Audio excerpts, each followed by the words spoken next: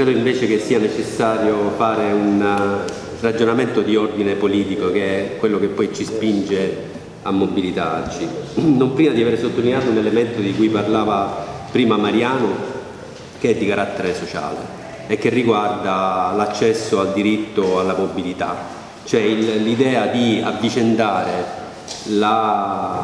all'intercity l'alta velocità significa rischiare di fare fuori le fasce di utenza più bassa. Questo non è un aspetto di carattere secondario, significa che gli strati più popolari non avranno diritto a eh, muoversi perché troveranno un ostacolo nei limiti di ordine economico eh, a, questo, a, questo, diritto e questo non è accettabile, noi vogliamo invece che rimangano gli intercity e che gli intercity siano migliorati, che non siano dei carri bestiame ma che invece siano dei luoghi eh, utilizzabili e dignitosi. Detto questo, eh, gli aspetti di carattere politico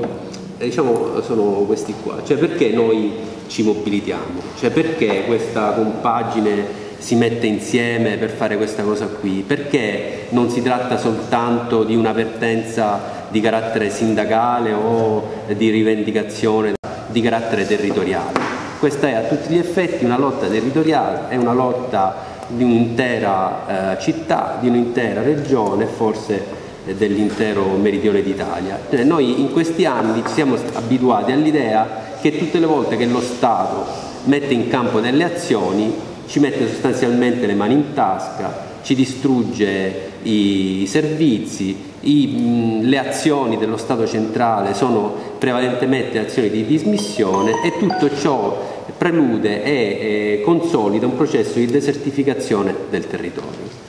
Contro, questo, contro questa politica, contro queste politiche eh, del governo centrale, noi non possiamo che fare affidamento sulla eh, diretta azione dei territori e dei suoi abitanti, cioè non c'è nessun altro che può farlo al posto di noi, è un'azione, un, un, obbligo, dire, un, un obbligo se vogliamo difendere i nostri, i nostri territori. Da questo punto di vista battersi contro la dismissione delle ferrovie, per la difesa della continuità territoriale e per la difesa delle ferrovie significa difendere sostanzialmente la Sicilia e la Calabria, questo è il dato politico. Perché lo dobbiamo fare noi? Perché la rappresentanza politica è tutta quanta contro di noi.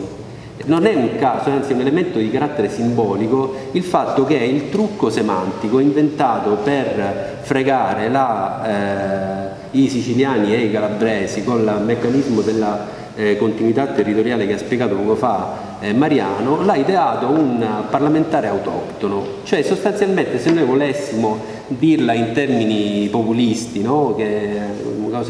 potremmo dire che questi qua sono pagati per fregarci, cioè li pagano per, eh, per raccontarci dell'estero. E siccome siamo ben educati, diciamo che loro invece per pagarsi le, la, la possibilità di mantenere le loro poltrone fanno di tutto perché possano facilitare la, diciamo così, l'attuarsi delle politiche statuali che sono appunto quelle diciamo prima di dismissione e desertificazione nei nostri territori, cioè loro agiscono contro di noi. Uno, eh, in questo caso Garofalo è diciamo, il rappresentante di quella classe politica che agisce contro i, i, i territori siciliani e calabresi e contro, eh, contro i suoi abitanti.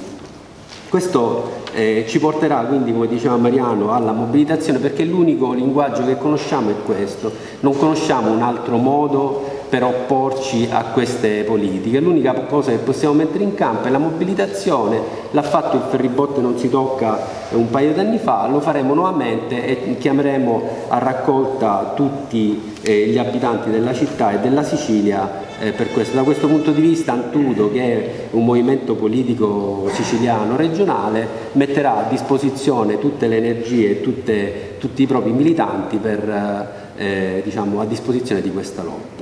In ultimo, una cosa che riguarda Messina in particolare, difendere le ferrovie secondo noi significa difendere la città da un pensiero unico che ormai da molti anni attraversa questa città. Secondo questo pensiero unico che attraversa il centro-sinistra, il centro-destra, i populisti, a Corinti e tutti, c'è uno schema eh, generale per cui lì il cemento va spostato dalle colline alle zone più o meno dove adesso ci sono le ferrovie, il porto è un pericolo, mentre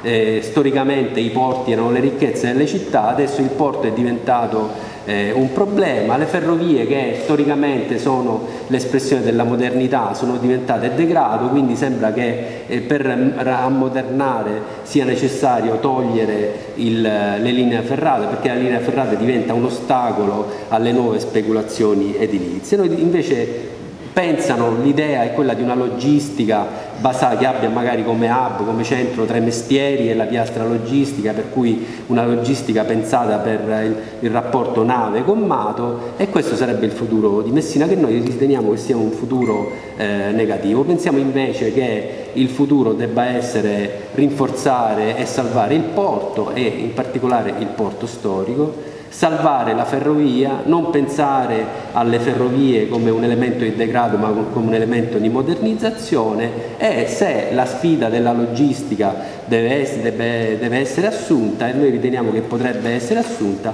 questa deve essere pensata come eh, nave più ferrato e non nave più gommato perché nave più ferrato è più efficiente dal punto di vista economico ed è più sostenibile dal punto di vista ambientale.